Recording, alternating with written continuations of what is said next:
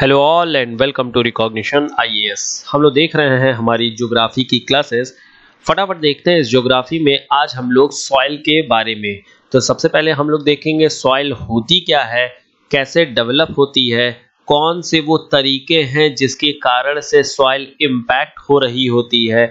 और फिर हम लोग देखेंगे different type of soil classification of soil और देखेंगे कि कौन सी सॉइल कहाँ पर हमें मिलती है।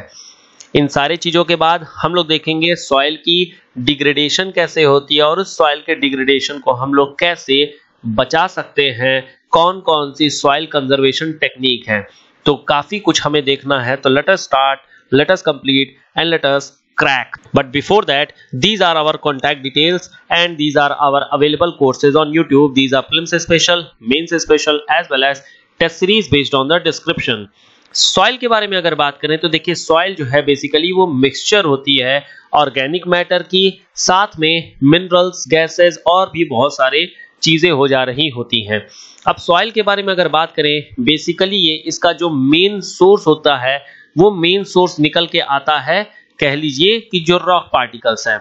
अब ये रॉक पार्टिकल बेसिकली इरोड हो रहे होते हैं और इस इरोजन के बाद जितने भी हमारे पास एक्सटर्नल सोर्सेज हैं, चाहे वो रिवर हो, चाहे विंड हो, चाहे कुछ भी हो, उसके माध्यम से ये प्लेन एरिया में आ जाता है और ये प्लेन एरिया में बेसिकली डेवलप होने के बाद अल्टीमेटली सॉइल का रूप ले ले रहा होता है।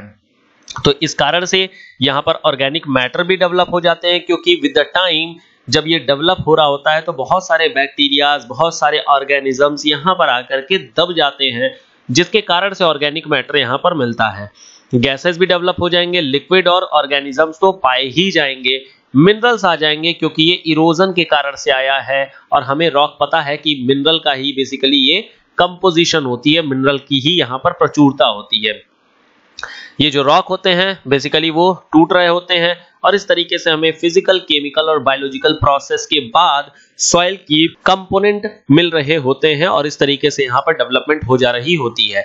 अगर मेन कंपोनेंट ऑफ़ सॉइल के बारे में बात करें तो हमारे पास कई सारी चीज़ें हो जाती हैं। जैसे सबसे पहले होती है मिनरल मटेरियल मिनरल मटेरियल का मतलब जो भी पेरेंट रॉक है, या कह लीजिए जो भी पेरेंट मटेरियल है, जहाँ से टूटने के बाद चीज़ें निकल के आ रही होंगी वो बेसिकली मिनरल मटेरियल कहलाता है। तो it includes all the mineral inherited from the parent material as well as those formed by recombination from substance in soil solution तो बेसिकली ये मटेरियल किसी ना किसी फॉर्मेट में कन्वर्ट होगा। कन्वर्ट क्यों होगा?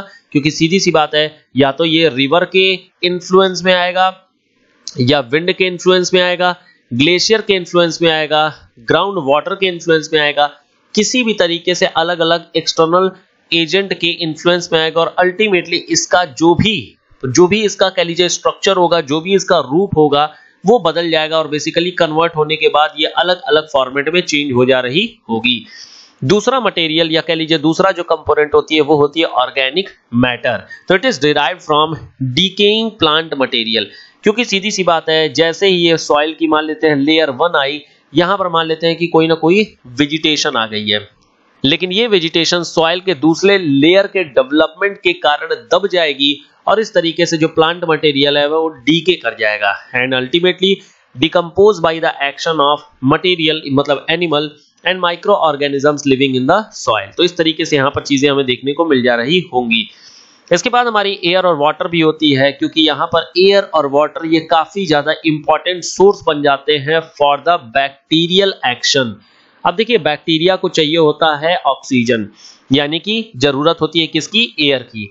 जिसको एयर की ज़रूरत या ऑक्सीजन की ज़रूरत होती है, उसको हम लोग बोलते हैं एरोबिक और जिसको ऑक्सीजन की ज़रूरत नहीं होती है, वो नॉन एरोबिक बन जा रहे होते हैं। क्लियर हो गया? आगे अगर बात करें तो हमारे पास कुछ सॉइल फॉर्मिंग प्रोसेसेस हो जाती हैं। सॉइल फॉर्मिंग प्रोसेस के बारे में अगर बात करें तो काफ़ी ज़्यादा होती है। वन बाय वन करके बात करें तो जिसे यहाँ पर अगर प्रोसेस के बारे में बात करें तो बेसिकली फाइव प्रोसेस है टोटल मिला करके। सबसे पहली होती है जिसको हम लोग बोलते हैं एडिशन एडिशन का मतलब होता है फ़र्स्ट लेवल से, या कह लीजिए फ़र्स्ट स्टेप है, जहाँ से सरफेस पर ये आना शुरू होता है। तो बेसिकली ये बोल सकते हैं कि रॉक मटेरियल यहाँ पर इरोड हुआ है, और इरोड होने के बाद ये ट्रांसलोकेट होगा। तो ट्रांसलोकेट जब होगा, तब होगा। फ़िलहाल रॉक मटेरियल इरोड हुआ है। This is the process of addition, and this obvious one include solar energy, water controlled by climate, organic material derived principally from the vegetation तो यहाँ से चीज़ें निकल के आती हैं। दूसरी जो स्टेप होती है, उसको बोलते हैं लॉसेस लॉसेस का मतलब यह है कि these occur from both from the surface and from the deep subsoil. Material suspended or dissolved in the water or main form of losses are leaching. अब जैसे यहाँ पर मान लेते हैं कि सॉइल की फ़र्स्ट लेयर आ गई है। फ़र्स्ट लेयर आने के बाद लगातार ये वाटर के इन्फ्लुएंस में आ रहा है। मतलब वाटर लगातार इसके ऊपर में, पानी लगातार इसके ऊपर में बहती रह रही है। इस बहते रहने के कारण सॉइल में, जैसे सॉइल भी तो क्या है, इस तरीके का पार्टिकल है। अब इस पार्टिकल में अगर ये मान लेते हैं बड़े बड़े अगर पार्टिकल होंगे तो वाटर इसके अंदर में लॉक करके नीचे की ओर में गिरता चला जाएगा। लेकिन अगर ये पार्टिकल छोटे छोटे होंगे तो इसके अंदर में जो पोर्स हैं, जो गड्ढे हैं, जो सुराख हैं, वो भी कम रहेंगे और पानी की लीचिंग मतलब कि पानी नीचे जाने की जो संभावना होगी, वो उतनी ही ज़्यादा कम रहेगी। तो ये सेकेंड लेयर आ जाती है जहाँ पर वाटर और एयर ये दोनों भी इसको इंपैक्ट कर रहे होते हैं। तीसरी आती है ट्रांसलोकेशन मतलब एक स्थान से दूसरे स्थान पर ले जाने की टेंडेंसी तो this is basically physical movement of material within the soil material solid हो सकते हैं लिक्विड हो सकते हैं केसीएस फॉर्मेट में हो सकते हैं। यहाँ पर कई सारे मटेरियल मिनरल के फॉर्मेट में होते हैं, जैसे ऑर्गेनिक मटेरियल हो गया या आयरन या एल्यूमिनियम या हाइड्रोक्साइड्स होते हैं बेसिकली जो सरफेस या सब सरफेस पे अवेलेबल होते हैं। ये because of the capillary action capillary का मतलब क्या होता है, हम लोग देखेंगे आगे। कैपिलरी एक्शन या फ़िलहाल के लिए आप समझ लीजिए कैपिलरी की जगह पर लीचिंग आप समझ लीजिए। लीचिंग का मतलब क्या है? यही, जो पानी नीचे की ओर में चला जा रहा है, इसको हम लोग टेक्निकल टर्म में लीचिंग बोलते हैं। क्लियर हो गया क्या चीज़ है? तो these are very cold climate में इस तरीके के ट्रांसलोकेशन मतलब कि जो भी यहाँ पर कंपाउंड्स हैं, या जो भी मिनरल यहाँ पर है, वो लीच करके नीचे चले जाते हैं, धरती में चले जा रहे होते हैं। नेक्स्ट लेवल होती है ट्रांसलोकेशन के बाद। अब ट्रांसफॉर्मेशन यहाँ पर क्या हुआ? This involve the change of soil constituent without any physical displacement यहाँ पर कई सारी चीज़ें होती हैं जो ट्रांसफॉर्म कर रही होती है, जैसे केमिकल और फ़िज़िकल प्रोसेस जिसके कारण से यहाँ पर हमें मटेरियल में चेंज देखने को मिल रही होती है। और लास्ट में आ जाती है फिफ्थ प्रोसेस इसको बोलते हैं हम लोग ऑर्गेनिज्म ऑर्गेनिज्म में होता क्या है कि जो प्लांट है या एनिमल है या जो कुछ भी, कह लीजिए कि सरफेस पे मिल जाएगा, चाहे वो बैक्टीरिया ही क्यों ना हो, वो अल्टीमेटली दब करके डिकम्पोजिशन के कारण से न्यूट्रिएंट साइकिल में मिलने के कारण से ऑर्गेनिज्म प्रोड्यूस कर रहा होता है। तो these are organism both plant and animal play an important role in the development and composition of soil organism add organic matter a decomposition weathering and nutrient cycling तो इस तरीके से बेसिकली सॉइल फॉर्म करने के ये पाँच process होते हैं जो अलग अलग तरीके से हम लोगों ने चीज़ें देख लिया।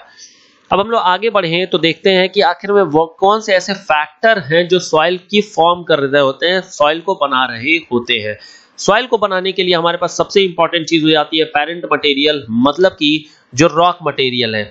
जहाँ से चीज़ें बेसिकली टूटना शुरू होंगी इरोड होना शुरू होंगी और यहीं से सारा का सारा मटेरियल कह लीजिए जो रॉ मटेरियल है, वो निकल करके सामने आएगा। तो in most of the cases parent material determine the coloration mineral composition and texture of the soil texture का मतलब क्या चीज़ होता है? टेक्सचर का मतलब होता है जो भी जैसे मान लेते हैं कि ये हमारा हेक्सागन है। ठीक है? तो जब भी आप इसको सरफेस को टच करेंगे तो अगर मान लेते हैं इस तरीके से ये नुकीली नुकीली चीज़ बनी होगी, इसको बोलेंगे हम लोग टेक्सचर कैसा है इसका। ठीक है? तो टेक्सचर का मतलब होती है कि किस तरीके से सरफेस दिख रहा है। नेक्स्ट जो होती है, वो होती है क्लाइमेट क्लाइमेट का मतलब ये होता है कि टेम्परेचर और रेनफॉल इस तरीके की जो मटेरियल या इस तरीके का जो भी टूटा हुआ पार्टिकल निकल करके सामने आया है, वो लगातार इनके इन्फ्लुएंस में आता रहता है। तो टेम्परेचर और रेनफॉल के कारण से इस मटेरियल में कई सारे चेंजेस आना शुरू हो जाते हैं। जैसे थॉइंग आनी शुरू हो जाती है। थॉइंग का मतलब ये हो गया कि ठंड का सीज़न या फिर टेम्परेचर बहुत लो हो जाए तो इसमें थॉइंग होना शुरू हो जाती है। इसके अलावा रेनफॉल के कारण से मटेरियल और ज़्यादा ब्रेक करना शुरू कर देता है because of already discussed our chemical composition of the water तो इस कारण से भी मटेरियल में चेंज आते रहते हैं। लास्ट में होती है नेक्स्ट टोपोग्राफी टोपोग्राफी काफ़ी ज़्यादा इंपॉर्टेंट होती है किसी भी एरिया के सॉइल फॉर्म करने के लिए। ये फैक्टर काफ़ी इंपॉर्टेंट होता है। क्योंकि जो रिलीफ होती है, वो काफ़ी हद तक सॉइल इरोजन को इंपैक्ट कर रही होती है। जैसे अगर बात करें चंबल की, चंबल में क्या होती है?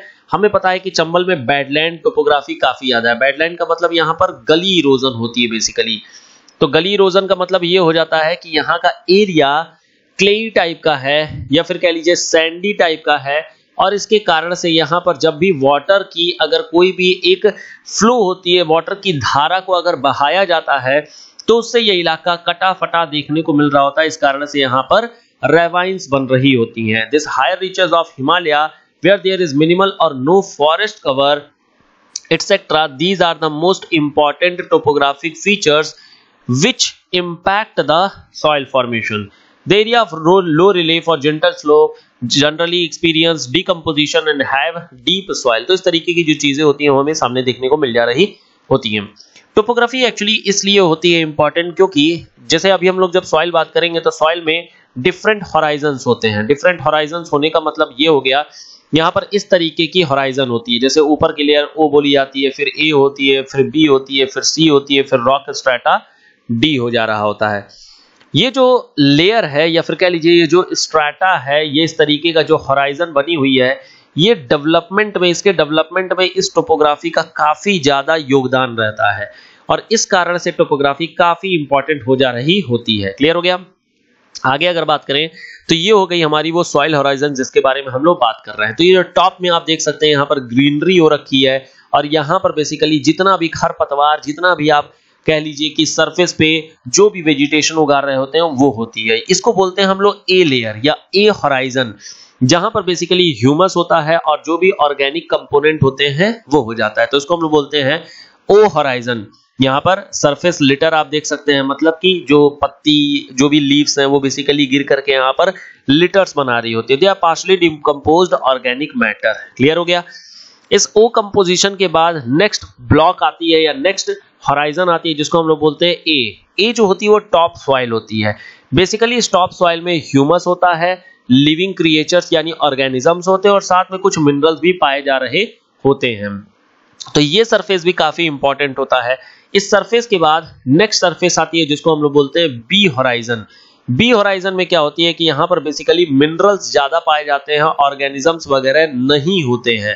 तो यहाँ पर बेसिकली आयरन हो गया एल्यूमिनियम हो गया ह्यूमिड हो गया compounds accumulated and clay leached down from the e horizon अब ये लीचिंग क्या चीज़ है? अभी हम लोग बात करते हैं। फ़िलहाल आप ये समझिए कि यहाँ पर बेसिकली मिनरल कंपोनेंट्स वगैरह ज़्यादा पाए जा रहे होते हैं।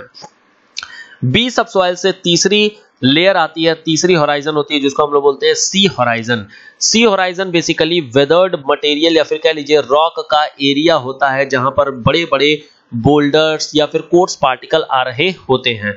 तो these are the weathered parent material partially break down of inorganic component तो इस तरीके से यहाँ पर सरफेस आ जा रही होती है। लास्ट में हमारी लास्ट बेडरॉक आ जा रही होती है और सिंपल ये कुछ नहीं है बेडरॉक है। रॉक का मतलब ये रॉक पार्टिकल है जो कि अल्टीमेटली पेरेंट मटेरियल मतलब कि सॉइल फॉर्मिंग प्रोसेसेस दे रहा होगा। अब एक टर्म यहाँ पर लिखा हुआ है इलुविएटेड होराइजन इलुविएटेड का मतलब ये होता है, मान लेते हैं कि ऊपर से रेनफॉल हुई। इस रेनफॉल होने के कारण से ऊपर में जो भी मिनरल कंपोजिशन है, अब मिनरल कौन कौन से हो सकते हैं? मिनरल हो सकते हैं कैल्शियम कार्बोनेट हो सकता है कैल्शियम सल्फेट हो सकता है, या फिर एल्यूमिनियम के कार्बोनेट हो सकते हैं, एल्यूमिनियम के सल्फेट्स हो सकते हैं, हो सकते हैं कि नहीं हो सकते हैं, सारा हो सकता है। तो ऊपर में जब H2O आएगा तो H2O के कारण से यहाँ पर कैल्शियम हाइड्रोक्साइड बन जाता है। कैल्शियम सल्फेट के कारण से कैल्शियम हाइड्रोक्साइड यहाँ पर भी बन जाता है, और साथ में H2CO3 कार्बोनिक एसिड बन जाती है। यहाँ पर H2SO4 सल्फेट मतलब सल्फ्यूरिक एसिड बन जाती है।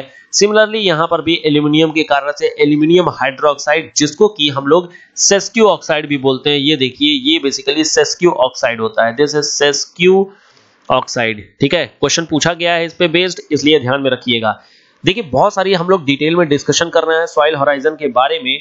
वो इसीलिए कर रहे हैं क्योंकि this is the most complex topic of geography after climate climate के बाद दूसरा सबसे ज़्यादा कॉम्प्लेक्स टॉपिक है, बहुत ज़्यादा टफ कह सकते हैं आप इसको, क्योंकि इंफॉर्मेशन बहुत ज़्यादा डिस्क्रीट फॉर्मेट में फैली हुई है। इसलिए ध्यान से जरा सुनिएगा एक एक टर्म हम लोग डिस्कस करेंगे। बहुत सारे यहाँ पर कंसेप्ट के बारे में हम लोग देखेंगे क्या कुछ है यहाँ पर। देखिए, वापस से आते हैं अपने इस होराइजन पे। तो यहाँ पर वाटर के कारण से यहाँ पर जितने भी हमारे सरफेस पे मिनरल्स होते हैं वो धीरे धीरे लीच करना शुरू हो जाते हैं। क्योंकि अगर मान लेते हैं कि ये रेनफॉल बहुत ज़्यादा तेज़ी से हो गई तो होगा क्या? जो भी मिनरल्स है बेसिकली वो बह जाएँगे। कहाँ बह जाएँगे? नीचे चले जाएँगे सीधी सी बात है।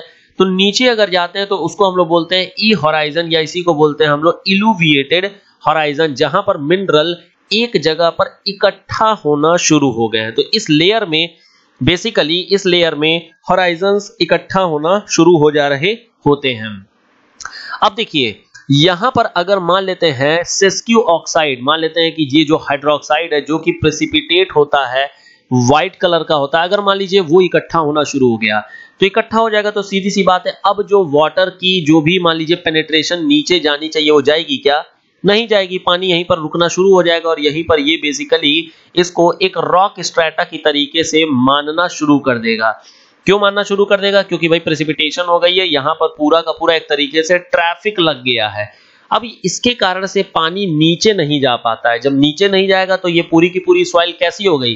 एल्कलाइन सॉइल हो जा रही होती है। क्यों हुई है?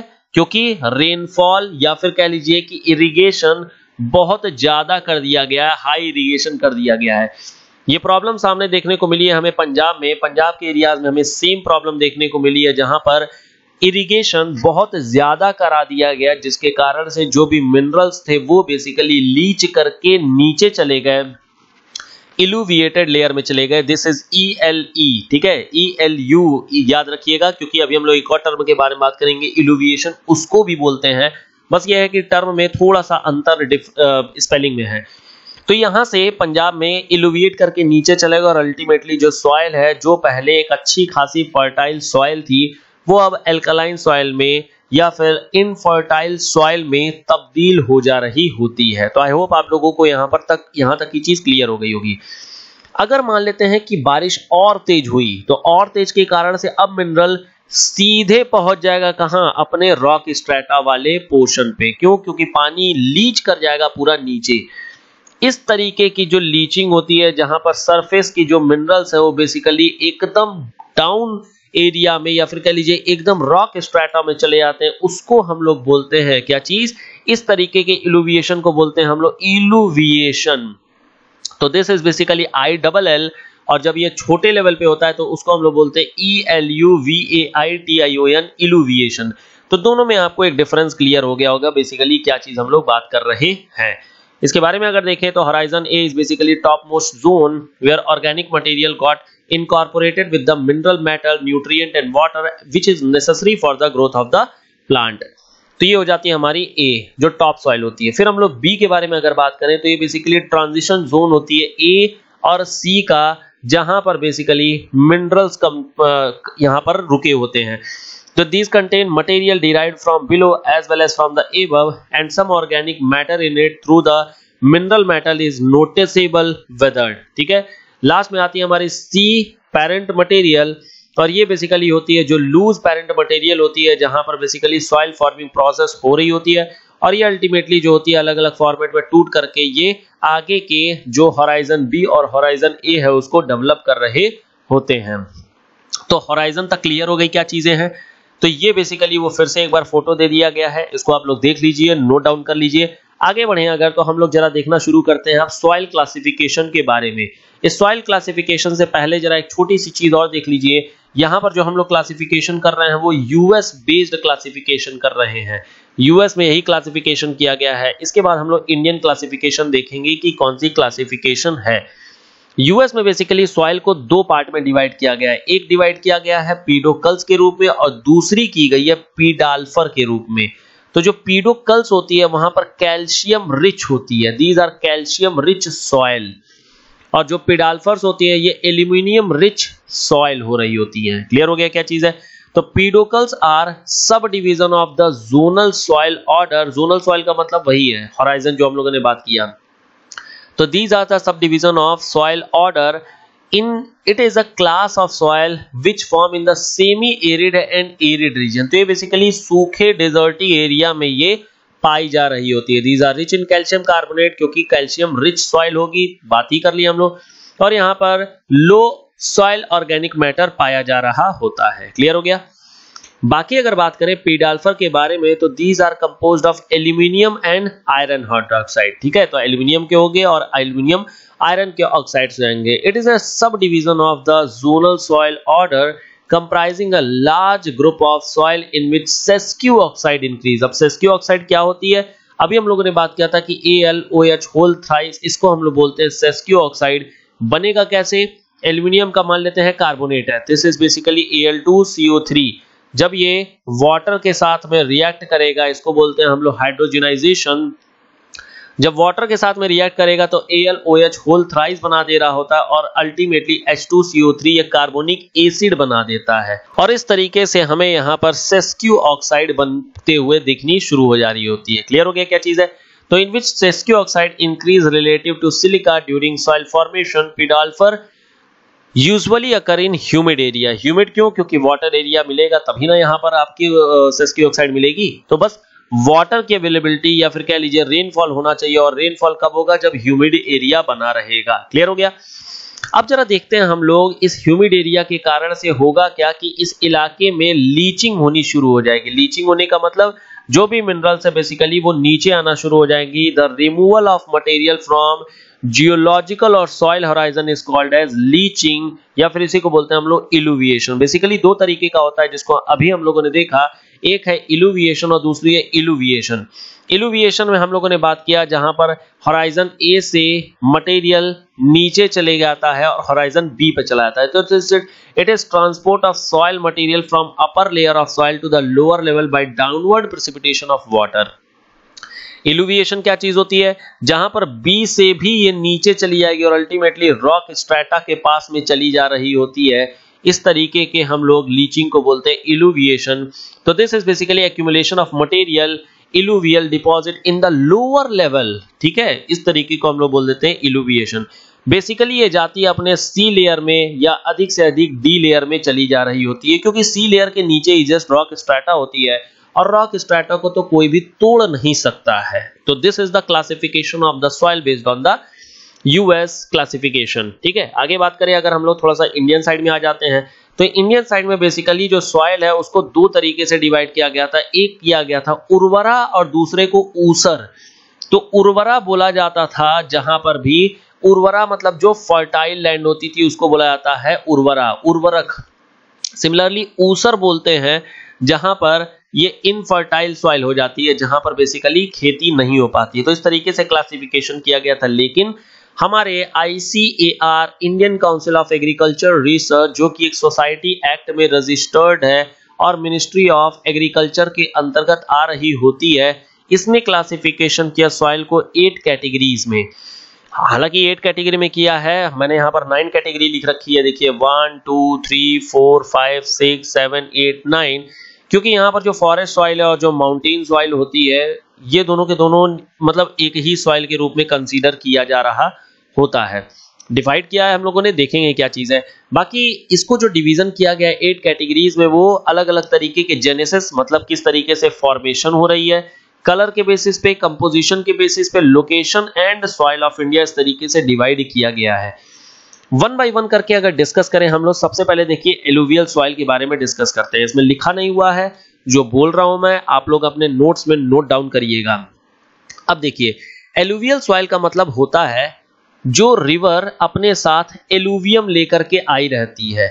हम लोगों ने देखा हुआ है रिवर के कारण से जो लैंडफॉर्म बनी थी, जिसको हम लोग बोलते थे फ्लूवियल लैंडफॉर्म इस फ्लूवियल लैंडफॉर्म में हम लोगों ने बेसिकली जो देखा था, वो ये देखा था कि अपने अपर रीचेस में रिवर माउंटेन से निकल के आ रही होती थी।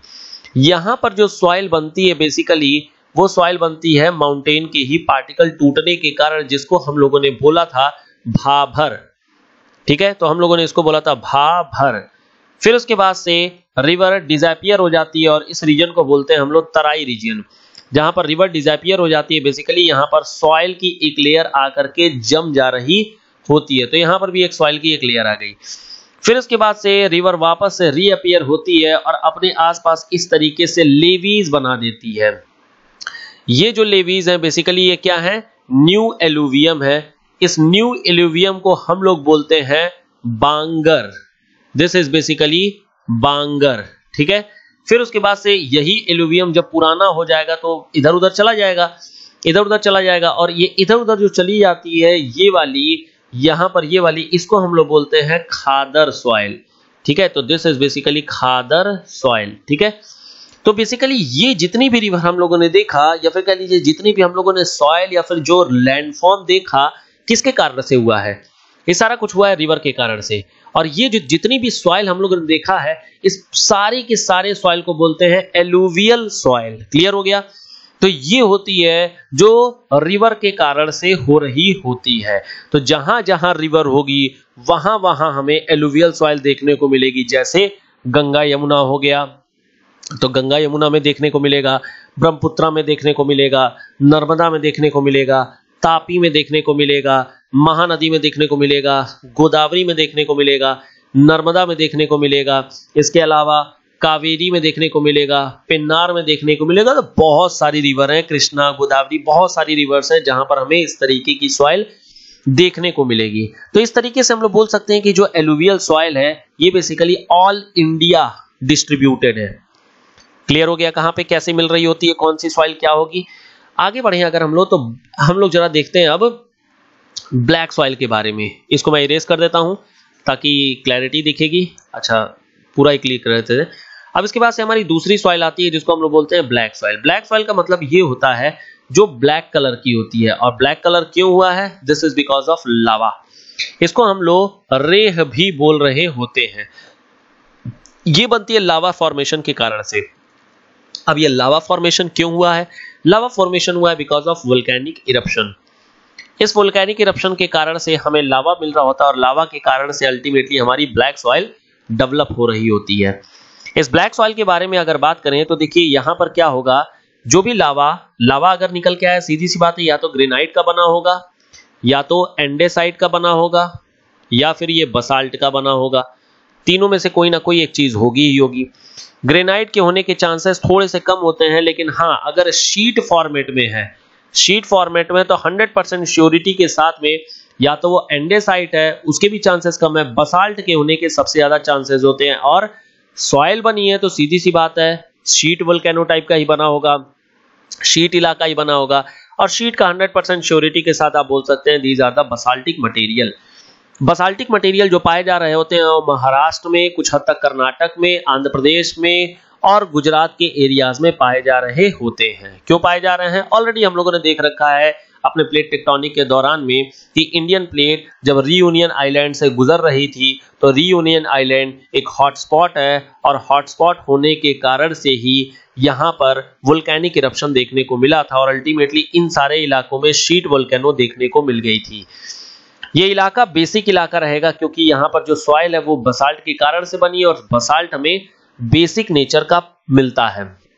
और इस कारण से यहाँ पर जो भी सॉइल फॉर्मेशन होगी वो पूरी की पूरी बेसिक सॉइल होगी, पहली चीज़। दूसरी चीज़ जरा देखिए यहाँ पर, ये जो लावा होगा वो बहुत ज़्यादा आपस में क्लेई नेचर का होगा। क्लेई मतलब कि यहाँ पर छोटे छोटे छोटे छोटे पार्टिकल होंगे। और ये छोटे छोटे पार्टिकल होने के कारण से अगर मान लीजिए पानी इसमें अगर नीचे बहता भी है तो ट्रैप हो जाएगा इसमें। क्यों ट्रैप हो जाएगा? भाई सीधी सी बात है, अगर मान लीजिए बड़े बड़े अगर इलाके रहेंगे तो इसमें पोर्स भी मतलब जो भी होल है, वो बड़े बड़े होंगे तो पानी नीचे टहल करके चला जाएगा। लेकिन अगर ये बहुत छोटे छोटे होंगे तो ये क्या होगा? पोर्स इसमें लगभग लगभग नहीं के बराबर होंगे। यानी पानी जैसे ही आएगा, पानी इकट्ठा हो जाएगा। यानी जो ब्लैक सॉइल होती है, उसकी मॉइस्चर के रिटेंशन का रिटेंशन काफ़ी ज़्यादा होता है। This is very high retention लेकिन ये जरा ध्यान रखिएगा, हम लोग जो बात कर रहे हैं वॉल्यूम वाइज बात किए हैं मॉइस्चर रिटेंशन वॉल्यूम वाइज काफ़ी ज़्यादा होगा। लेकिन टाइम के साथ सबसे कम होगा। क्यों कम होगा? क्योंकि देखिए, इलाके पे वाटर की जो अवेलेबिलिटी है, वो अपने टॉप लेयर में है। हमें पता है कि अगर रेन आया है, पानी इकट्ठा हुआ है तो साथ में इंसुलेशन भी तो है। यहाँ पर हीट भी तो है। और हीट के कारण से इसका इवेपोरेशन भी होना शुरू हो जाएगा। पानी यहाँ से इवेपोरेट वाष्पीकरण भी होना शुरू हो जाएगा। और इस वाष्पीकरण के कारण से बहुत ही कम टाइम में इस सॉइल में जितनी भी मॉइस्चर है, वो खत्म हो जाएगी। तो मॉइस्चर रिटेंशन बहुत ज़्यादा है दिस इज़ करेक्ट बट बहुत ही शॉर्ट टाइम के लिए होता है। क्लियर हो गया क्या चीज़ है? ब्लैक सॉइल का मतलब और किस तरीके से वाटर डिस्टेंशन हो रही है और क्या चीज़ें हो रही हैं? चलिए ब्लैक सॉइल कहाँ पाई जाएगी? ऑलरेडी मैंने आप लोग को इलाका बता दिया बेसिकली ये डेक्कन प्लेटू में मिल रही होती है। तो बेसिकली ये डेक्कन का इलाका हो जाता है। आगे अगर बात करें आगे हमारे पास आती है red and yellow soil these are basically एक तरीके से कह सकते हैं कि ये ओल्ड एलुवियम है. This is basically old alluvium old alluvium में अब देखिए, दो तरीका हो सकता है मिनरल के कंपोजिशन के कारण से. अब देखिए मिनरल के कंपोजिशन में हो सकता है कि ये आयरन रिच हो और दूसरा हो सकता है कि आयरन रिच नहीं होगी. कोई दूसरा कंपाउंड होगा एल्यूमिनियम होगा, चाहे कैल्शियम होगा, चाहे कुछ और होगा, कुछ भी होगा. या फिर कह सकते हैं कि ये नॉन फेरस है. ठीक है? अगर फेरस में आपने वाटर दे दिया तो ये बनेगा Fe2O3 अगर यहाँ पर आप वाटर दे देंगे तो यहाँ पर किसी ना किसी का हाइड्रोक्साइड बन जाएगा। मान लेते हैं कैल्शियम का ही हाइड्रोक्साइड बना देते हैं। ये जो Fe2O3 है, ये रेड इन कलर होगा क्योंकि ये बेसिकली क्या हो गया? जंग हो गया रस्ट हो गया। और यहाँ पर ये कलर व्हाइट दिखेगा या फिर येलो देखने को मिलेगा। इस तरीके से हमें दो तरीके की सॉइल देखने को मिल गई है। अगर सॉइल आयरन रिच होगी तो हमें रेड कलर की देखने को मिलेगी और अगर नॉन आयरन या फिर नॉन फेरस होगी तो वो येलो कलर की देखने को मिल जा रही होगी। लेकिन एक बात श्योर है, ये है ओल्ड एलुवियम जो कि रिवर के कारण से लाया गया था। तो हमारे पास जो इंडिया है इंडिया में सबसे ज़्यादा सेकेंड नंबर पे हमें सबसे ज़्यादा रेड एंड येलो सॉइल ही देखने को मिल रही होती है। अगर इस आयरन रिच वाले के बारे में बात करें तो हमें पता है आयरन सबसे ज़्यादा कहाँ मिलता है? छोटा नागपुर प्लेटू के एरिया में हमें आयरन रिच सॉइल मिल रही होती है। और छोटा नागपुर के ही आसपास के एरियाज़ में नॉन फोसिलिफेजरस है, या फिर नॉन फेरस है नॉन फेरस हो जाएगा, और नॉन फेरस ही कैसी हो जाएगी? येलो सॉइल और जो फेरस वाली है, ये बन जाएगी आपकी रेड सॉइल दोनों में क्लैरिटी आ गई, दोनों में क्या अंतर है, क्या चीज़ है? चलिए खैर। आगे बात करें तो नेक्स्ट होती है हमारी लेटेराइट सॉइल तो रेड एंड येलो सॉइल का भी आपको डिफरेंस समझ में आ गया है, इलाका समझ में आ गया है, कहाँ पे होगा? बता सकते हैं आप कि आंध्र प्रदेश का इलाका, तेलंगाना का इलाका, छत्तीसगढ़, उड़ीसा, वेस्ट बंगाल, ये इलाके भी काफ़ी हद तक रेड एंड येलो सॉइल से मिल रहे होंगे यहाँ पर, ठीक है? नेक्स्ट आती है हमारी लेटेराइट सॉइल लेटेराइट का मतलब होता है लेटर और लेटर का मतलब होता है ईट या फिर जिसको हम लोग बोलते हैं इंग्लिश में ब्रिक तो ये बेसिकली ईट है। होता क्या है यहाँ पर कि इस इलाके में इतना ज़्यादा रेनफॉल हो जाती है कि इस रेनफॉल के कारण से लीचिंग बहुत ज़्यादा हो जाती है। इस लीचिंग के कारण से जितने भी मिनरल्स होते हैं, वो चले जाते हैं अपने रॉक स्ट्रेटा में, जिसको हम लोग बोल सकते हैं कि इलुवियम वाला इलुवियम हो गया है, ठीक है? अब यहाँ पर मान लेते हैं, ये सॉइल होराइजन है। यहाँ पर मान लेते हैं कि ऊपर में ह्यूमस है, और नीचे का लेयर ए हो गया लेयर बी हो गया लेयर सी हो गया, और ये रॉक स्ट्राटा वाली लेयर डी हो जा रही होती है, ठीक है? यहाँ से जो मिनरल्स है, वो लीच करके डाउन चले गए, सबसे नीचे चले गए हैं। यहाँ पर लीच होने के कारण से अब होता क्या है कि ऊपर का जो सरफेस होता है, वो काफ़ी ज़्यादा पथरीला दिखना शुरू हो जा रहा होता है, जिसको कि हम लोग लेटर या लेटर राइट सॉइल बोल रहे होते हैं। कहाँ पे पाई जाएगी ये सॉइल ये सॉइल पाई जाएगी बेसिकली उन इलाकों में जहाँ पर रेनफॉल बहुत ज़्यादा होते हैं। होते कहाँ पे हैं? वेस्टर्न घाट में सबसे ज़्यादा होते हैं। इसके अलावा आपको गारो खासी जयंतिया रीजन में भी देखने को मिल जाएगा। गारो खासी जयंतिया मोहसिन राम चिरापूंजी इस इलाके में भी आपको इस तरीके की सॉइल देखने को मिल जाएगी। साथ ही साथ, ईस्टर्न घाट में भी, कुछ इलाकों में भी हमें देखने को मिल जा रही होती है, क्योंकि लगातार वहाँ पर भी बारिश हो रही होती है। क्लियर हो गया क्या है लेटराइट सॉइल का मतलब? नेक्स्ट सॉइल आती है हमारी एरिड सॉइल एरिड सॉइल के बारे में सिंपल सी बात है, ये एक डेजर्ट सॉइल है। डेजर्ट सॉइल क्योंकि यहाँ पर क्या है, पानी की अवेलेबिलिटी नहीं हो पाती है। वाटर की अवेलेबिलिटी जब नहीं हो पाती है तो यहाँ पर होता क्या है कि जो भी सॉइल के पेरेंट मटेरियल है, और जो भी कह लीजिए कि विंड के कारण से जो उड़ा करके लेके आ रहे होते हैं, वो बेसिकली या तो फॉस्फेट के मटेरियल होते हैं या फिर कैल्शियम पोटेशियम के होते हैं। तो इस कारण से यहाँ पर फॉस्फोरस और पोटास ज़्यादा पाया जाता है, लेकिन यहाँ पर कोई भी वेजिटेशन नहीं हो पाती है। और वेजिटेशन ना हो पाने के कारण से लगातार ये जो रीजन होते हैं, वो लगातार वाटर डिफिशियंट बनते जा रहे होते हैं और वाटर डिफिशियंट होने के कारण से ये जो सॉइल होते हैं, जिनको हम लोग एरिड सॉइल भी बोल रहे होते हैं। क्लियर हो गया? पाया कहाँ जाएगा? डेजर्ट एरिया में। और डेजर्ट कहाँ पर है? हमें पता है, राजस्थान और गुजरात के रीजन में डेजर्ट पाया जाता है तो इस वजह से एरिड सॉइल भी यहीं पर पाई जाएगी। नेक्स्ट सॉइल आती है हमारी जो सेलाइन सॉइल होती है। सेलाइन सॉइल देखिए दो तरीके की होती है। एक सॉइल होती है जहाँ पर पानी अवेलेबल नहीं है या फिर कह लीजिए कि जहाँ पर वाटर की अवेलेबिलिटी कुछ खास नहीं है तो एरिड इलाके के चारों ओर में आपको क्या मिल जाएगी? सैलाइन सॉइल क्योंकि यहाँ पर सॉल्टी एरिया है, जैसे गुजरात का एरिया हो गया, या फिर लूनी रिवर के आसपास का जो भी रिवर है सांबर हो गया, डेगना हो गया, डिडवाना हो गया तो इस इलाके में भी मुझे बेसिकली सैलाइन सॉइल मिल जाएगी। क्लियर दूसरा तरीका होता है जहाँ पर हाई इरिगेशन के कारण से सैलाइन सॉइल मिल रही हो, जैसे पंजाब, हरियाणा का रीजन हो गया यहाँ पर भी सैलाइन सॉइल मिल जाती है, लेकिन ये सॉइल बेसिकली ओवर इरिगेशन के कारण से डेवलप हुई है। क्लियर हो गया? माउंटेन सॉइल को मैं जरा रोक रहा हूँ और हम लोग जरा देखते हैं पहले पीटी सॉइल के बारे में। पीटी सॉइल का मतलब होता है वो सॉइल जो मार्शी एरिया में पाई जा रही होती है। मार्शी एरिया का मतलब जैसे वेटलैंड का इलाका हो गया फ्लड प्लेन का इलाका हो गया, ये सब बेसिकली पीटी सॉइल है, क्योंकि यहाँ पर पीट डेवलप हो जाते हैं। पीट का मतलब अगेन यहाँ पर मॉइस्चर काफ़ी ज़्यादा होती है और इलाके में कह लीजिए कि रेनफॉल या वाटर लॉगिंग बहुत ज़्यादा होती है। मतलब पानी से हमेशा ये ढका रहते हैं। तो बेसिकली हो जाती है वाटर लॉगिंग कहाँ पे पाया जाएगा? ये पाया जाएगा जो भी वेस्ट बंगाल का इलाका है या उड़ीसा का इलाका है। तो बेसिकली चिल्का लेक के आसपास का इलाका हो गया या फिर आपको सुंदरबन के डेल्टा के आसपास का रीजन हो गया। यहाँ पर आपको बेसिकली पीटी सॉइल देखने को मिल जाएगी। या फिर गोदावरी, जहाँ पर अपना डेल्टा बना रही है, कावेरी अपना, जहाँ पर डेल्टा बना रही है, पिन्नार डेल्टा बना रही है, महानदी डेल्टा बना रही है। तो ये सारे के सारे जो डेल्टा है बेसिकली वो पीटी सॉइल ही तो है, क्योंकि इलाका अपना पूरा का पूरा वाटर से हमेशा दबा रहेगा, हमेशा वेटलैंड इलाका बना रहेगा। क्लियर हो गया? इसके बाद हमारी आती है फॉरेस्ट सॉइल या फिर माउंटेन सॉइल कुछ खास नहीं है यहाँ पर। माउंटेन सॉइल में क्या है कि जो माउंटेन इलाका है, वहीं से ये टूट टाट करके वहीं पर जमना शुरू हो जाती है। रेनफॉल होती है टेम्परेचर डिफरेंस होता है और अल्टीमेटली सॉइल फॉर्मेशन हो जा रही होती है। ह्यूमस काफ़ी ज़्यादा होता है यहाँ पर क्योंकि बैक्टीरियल एक्टिविटी हो रही होती है, क्योंकि इलाका ना ज़्यादा ठंडा होता है, ना ज़्यादा गर्म होता है। तो ना ज़्यादा ठंडा, ना ज़्यादा गर्म होने के कारण से हम लोग बोल सकते हैं कि इलाका एक तरीके का टेम्परेट एरिया बना है।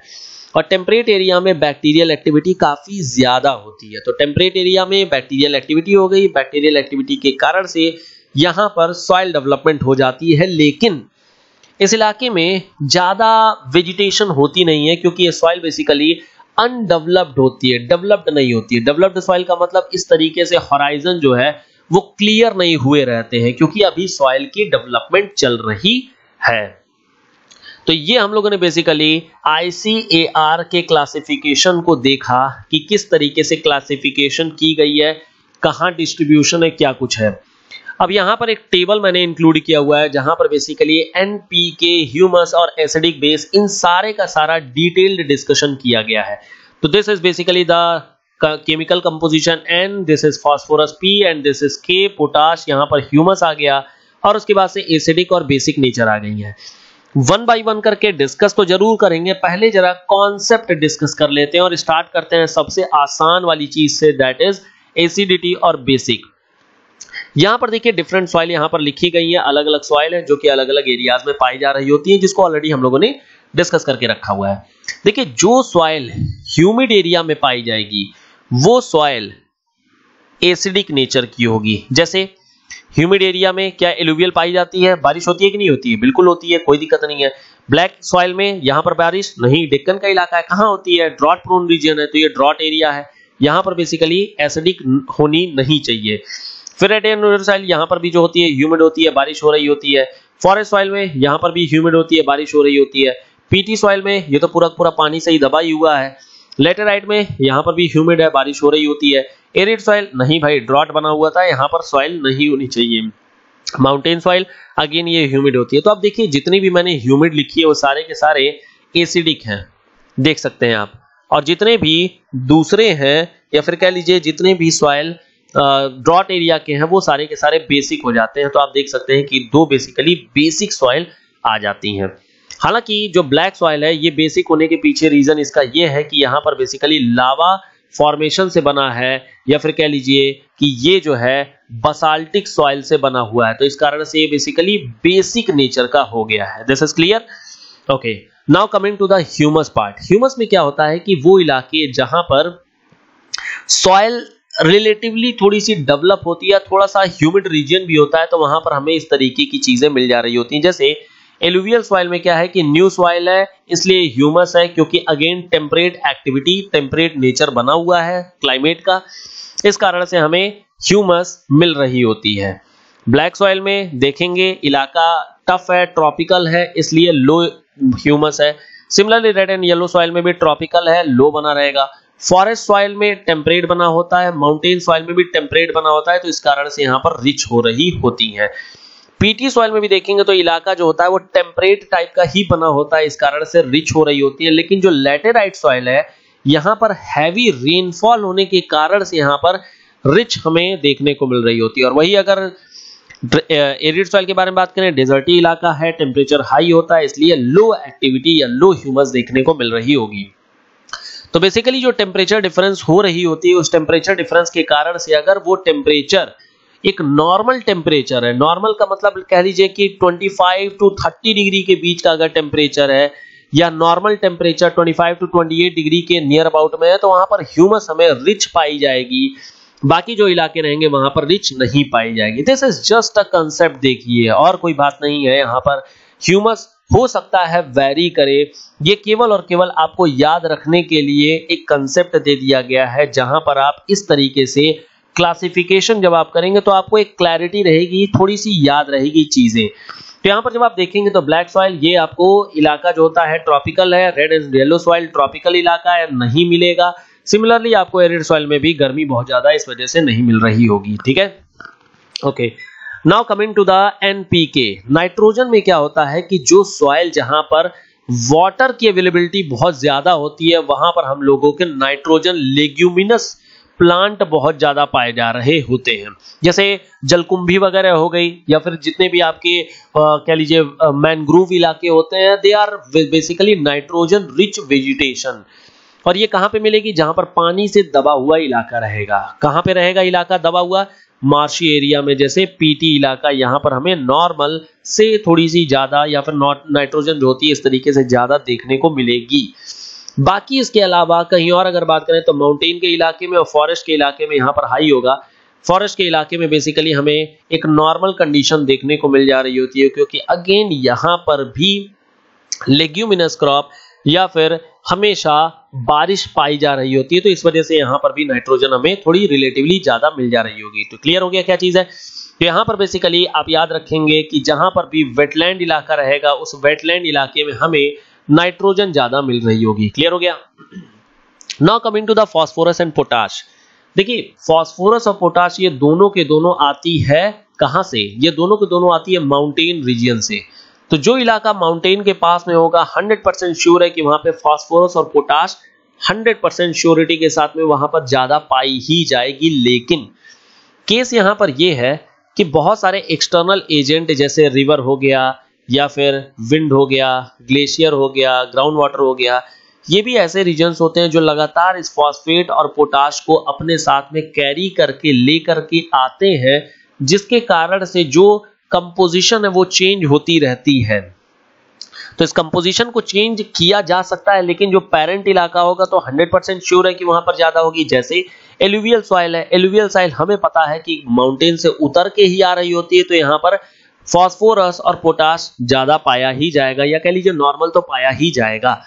अगर बात करें हम लोग अपने लेटेराइट के इलाके में तो ये वेस्टर्न घाट से उतर रही होती है तो यहाँ पर भी हमें नॉर्मल ही देखने को मिलेगा। दिस इज़ लो हालाँकि, लेकिन ठीक है, यहाँ पर आप नॉर्मल तरीके से भी याद कर सकते हैं।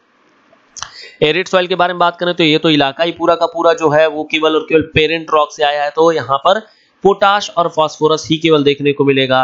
माउंटेन इलाके में भी हमें यही सेम कंडीशन देखने को मिल रही होगी। लेकिन पीटी सॉइल में अगर आ जाए, यहाँ पर देखिए किसी प्रकार से पूरा का पूरा इलाका क्या है? वेटलैंड का इलाका है। ना तो कहीं से माउंटेन है, ना तो कुछ है। तो इलाका क्या है? दोनों लो हो जाएगा, दोनों इस तरीके से चीज़ें हो जा रही होंगी।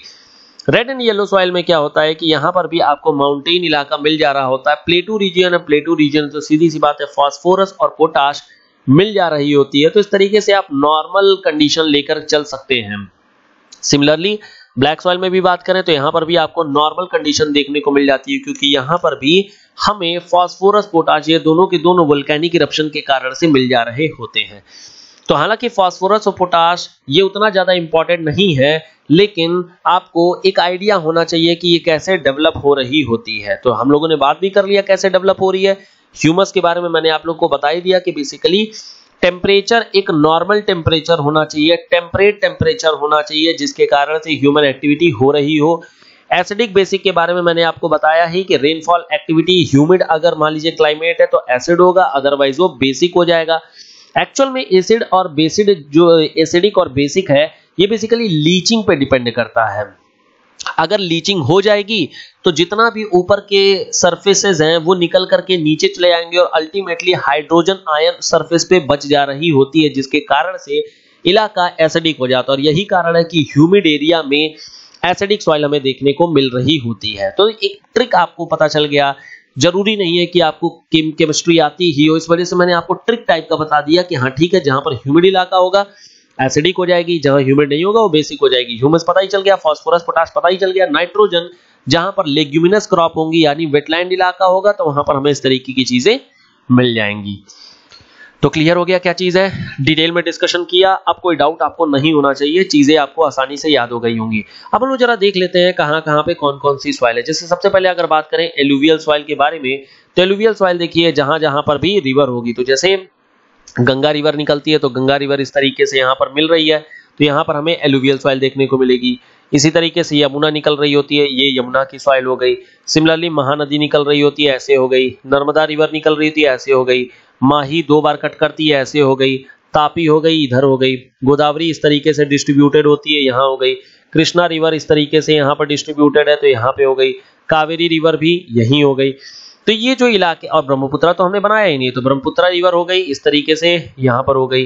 तो ये जो इलाका है बेसिकली जितना हम लोगों ने दिखाया है बेसिकली एलुवियल सॉइल का इलाका हो जा रहा होता है। साबरमती वगैरह भी बना सकते हैं, यहाँ पर साबरमती रिवर हो गई, ठीक है? अब जरा कलर चेंज करते हैं, ताकि दूसरा कलर भी आ जाए। Now the black soil black soil का जो इलाका है बेसिकली वो कौन सा इलाका है? ब्लैक सॉइल का इलाका ये है।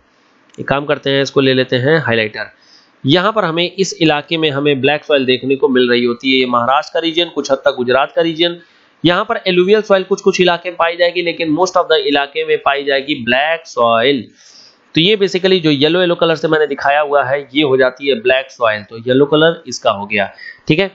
बाकी अगर रेड एंड येलो कलर के बारे में बात करें रेड एंड येलो सॉइल के बारे में बात करें तो यहाँ पर जो रेड एंड येलो सॉइल है, उसको रेड को रेड ही कलर से दिखा देते हैं।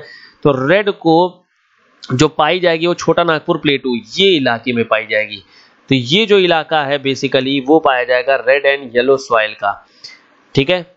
मतलब रेड सॉइल का। और येलो सॉइल कैसी हो जाएगी? येलो सॉइल यहीं दिखा देते हैं येलो कलर से, इस वाले कलर से दिखा देते हैं।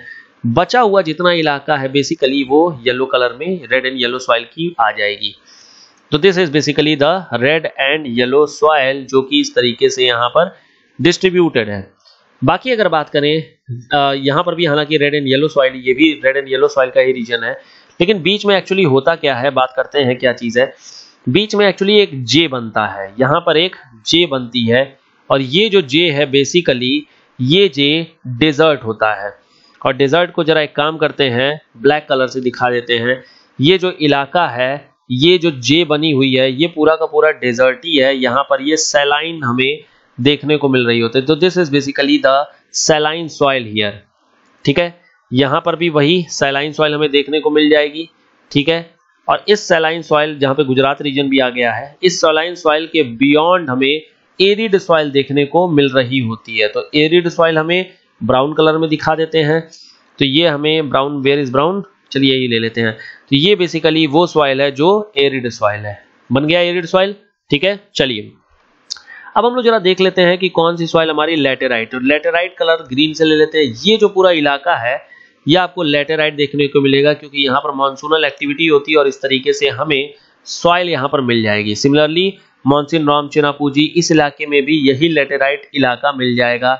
बचा हुआ जो इलाका है आपके असम वैली का तो वो बेसिकली हो जा रहा होता है क्या? अगेन यहाँ पर ब्रह्मपुत्रा रिवर है तो इस तरीके से यहाँ पर रिवर, यहाँ पर जो सॉइल है वो निकल के आ रही होती है। नेक्स्ट अगर बात करें तो अब हमारी आ जाती है माउंटेन सॉइल के बारे में। तो माउंटेन सॉइल को दिखा लेते हैं ग्रीन से तो ये पूरा का पूरा जो इलाका है माउंटेन सॉइल होता है यहाँ पर। ठीक है? इनफैक्ट उत्तराखंड में भी माउंटेन सॉइल है, यहाँ पर सिक्किम में माउंटेन सॉइल है, और यहाँ पर अरुणाचल प्रदेश में भी माउंटेन सॉइल ही हमें मिल रही होती है। ठीक है? ये इलाका पूरा का पूरा माउंटेन सॉइल है। तो हम लोगों ने एलुवियल सॉइल देख लिया ब्लैक सॉइल देख लिया रेड एंड येलो हो गया लेटेराइट हो गया एरिड हो गया सेलाइन हो गया माउंटेन हो गया फॉरेस्ट हो गया। पीटी सॉइल का मतलब ये होता है जहाँ पर वेटलैंड हो रही है। वेटलैंड कहाँ पर आ रही है? वेटलैंड आ रही है हमारी इस इलाके में। ये इलाका जो होता है वो वेटलैंड का इलाका है। इसलिए यहाँ पर जो सॉइल पाई जाती है वो पीटी सॉइल होती है। साथ ही साथ यहाँ पर भी पीटी सॉइल थोड़ी सी पाई जाती है और यहाँ पर भी पीटी सॉइल पाई जाती है। जैसे कोलेरू लेक हो गया, चिल्का लेक हो गया, इन सारे इलाके में भी हमें पीटी सॉइल देखने को मिल जा रही होती है। तो हम लोगों ने बेसिकली एक डिस्ट्रीब्यूशन भी देख लिया। जितना भी एरिया आपको व्हाइट व्हाइट कलर का दिख रहा है, वो बेसिकली एलुवियल सॉइल है। ठीक है? तो ये पूरा इलाका हम लोगों ने डिस्ट्रीब्यूशन भी देख लिया इंडिया में कि सॉइल का डिस्ट्रीब्यूशन कैसा है। अब हम लोग जरा आगे बढ़े और हमारे नेक्स्ट कंसेप्ट को डिस्कस करें, जिसको हम लोग बोलते हैं क्या चीज़? इसको हम लोग बोलते हैं सॉइल इरोजन अब सॉइल इरोजन के बारे में अगर बात करें सॉइल इरोजन का मतलब क्या होता है? सॉइल इरोजन का मतलब होता है जहाँ पर सॉइल डिग्रेड करना शुरू कर दी है। कैसे करेगी डिग्रेड देखते हैं। तो soil erosion is basically the loosening and displacement of top soil from the land due to action of agent like water and wind ठीक है? अब विंड उड़ा करके लेकर के जा रही है सॉइल के पहले लेयर को ही। चाहे पानी जो होता है पूरा पूरा बहा ले जा रहा है। तो बेसिकली हो क्या रहा है? ये सारे के सारे सॉइल इरोजन ही तो हो रहा है। तो सॉइल इरोजन इन नेचर में भी स्लो प्रोसेस जो कि जियोलॉजिकल इरोजन हो सकता है, और फास्ट प्रोसेस भी हो सकती है, जैसे ह्यूमन एक्टिविटी ओवरग्रेजिंग और डिफॉरेस्टेशन अगर बात करें सॉइल इरोजन के कौन कौन से रीजंस हैं तो रीजन में अगर आप बात करेंगे तो यहाँ पर दो रीजन हो जाते हैं। एक होता है जिसको हम लोग नेचुरल रीजन बोलते हैं, और दूसरी होती है जिसको हम लोग एंथ्रोपोजेनिक या फिर मैन मेड रीजन बोल सकते हैं। एंथ्रोपोजेनिक के बारे में अगर पहले बात करें तो यहाँ पर क्या होता है? अर्बनाइजेशन हो गया जहाँ पर सॉइल इरोजन हो जाती है डिफॉरेस्टेशन हो गया फॉरेस्ट को कटिंग कर दी जाती है शिफ्टिंग कल्टीवेशन हो गया, ये सॉइल इरोजन हो जा रहा होता है ओवर इरिगेशन हो गया सॉइल इरिगेशन का टाइप हो जा रहा होता है। सिमिलरली यहाँ पर अगर हम लोग और मेकेनाइजेशन करते हैं, या फिर एनिमल्स के बारे में अगर बात करें तो एनिमल्स भी जो है, वो इस तरीके की सॉइल इरोजन करते हैं। कैसे? जैसे गोट है, बकरी, ये क्या करती है? जब भी कोई प्लांट या कोई भी घास खा रही होती है तो उसको जड़ सहित वो प्लग कर जाती है। तो प्लक करने के कारण से ये डिस्ट्रीब्यूशन मतलब कि ये जो सॉइल है, वो वीक हो जाती है और वीक होने के कारण से टूट जा रही होती है। अगर नेचुरल के बारे में बात करें तो देखिए लैंडस्लाइड हो गया, ये सॉइल इरोजन का टाइप होता है। रेनफॉल हो गया, ये भी सॉइल इरोजन का ही रीजन हो जाता है। सॉइल में डायरेक्टली रेनफॉल रेन की ड्रॉप पड़ती है और अल्टीमेटली उसको तोड़ देती है। सिमिलरली ग्लेशियर हो गया, ये भी जो होता है सॉइल इरोजन का ही एक टाइप हो जाता है। तो ये तरीके होते हैं कुछ जिसके कारण से हमें ये सब तरीके मतलब सॉइल इरोजन देखने को मिल रही होती है। तो weathering erosion these are lead to degradation and aggradation in fact बात करें अगर तो इरोजन जो होती है इज़ अ मोबाइल प्रोसेस जहाँ पर वेदरिंग जो होती है, जबकि वेदरिंग जो होती है, वो स्टैटिक प्रोसेस होती है, क्योंकि इरोजन में चीज़ें लेकर के चलते रहते हैं और वेदरिंग में क्या होती है, वहीं पर चीज़ें तोड़ना शुरू कर देते हैं। वाटर में अगर बात करें तो वाटर रेन ड्रॉप के कारण से होती है, जो कि नेचुरल रीजन हो गया। शीट इरोजन मतलब रिवर जो है, मान लेते हैं कि कोई ऐसी सॉइल है, जैसे पीटी सॉइल पीटी नहीं सॉइल सेलाइन सॉइल हो गई, या फिर सैंडी सॉइल हो गई। इन सारे इलाकों में जब रिवर आएगी तो शीट इरोजन हो जाएगा मतलब पूरी की पूरी एक लेयर ही उड़ जाएगी, निकल जाएगी। या फिर रेल और गली गली इरोजन हो सकता है, जैसे जो चंबल रिवर कर रही होती है, दामोदर रिवर भी कर रही होती है। इनफैक्ट महानदी रिवर भी रेल और गली इरोजन कर रही होती है। बाकी लैंडस्लाइड हो गया, कोस्टल इरोजन हो गया ग्लेशियल इरोजन हो गया, ये कुछ भी और टाइप हो जा रहे होते हैं सॉइल इरोजन के। क्लियर? अब हम लोग जरा देखें कि आखिर में सॉइल इरोजन हो गया तो इसको बचाएँ कैसे? तो बचाने के लिए जो टेक्निक्स यूज़ की जाती है, उसको हम लोग बोलते हैं सॉइल कंजर्वेशन। सॉइल कंजर्वेशन की कई सारी टेक्निक होती है, जैसे it is a methodology to maintain soil fertility prevent soil erosion exhaustion and improve the degraded condition of the soil इसमें बचाने के लिए कई तरीके होते हैं, जैसे जो ओवर ग्रेजिंग की जा रही है मतलब जो भी फ़सल को काटा जा रहा है, बकरी को खिलाया जा रहा है, वो सारी की सारी चीज़ें बेसिकली बचाई जा सकती हैं। शिफ्टिंग कल्टीवेशन के कारण से जो चीज़ें होती हैं, वो भी बचा सकते हैं। In many part of the India have affected the natural cover of land and given rise to excessive erosion. It should be regulated and controlled by educating जो भी villagers हैं उन लोगों को बता सकते हैं बाकी इसके अलावा जो रेनफॉल है, या फिर कह लीजिए कि रेनफॉल के कारण से या पर्वतीय वर्षा, जो माउंटेनियस रेनफॉल होती है, उनके कारण से जो शीट इरोजन हो जा रही है मतलब कि एक पूरी की पूरी सॉइल की एक लेयर उड़ जा रही है, उसको हम लोग बचा सकते हैं कैसे? कॉन्टूर बंडिंग करके। कॉन्टूर बंडिंग का मतलब हो गया सीढ़ी नुमा खेत।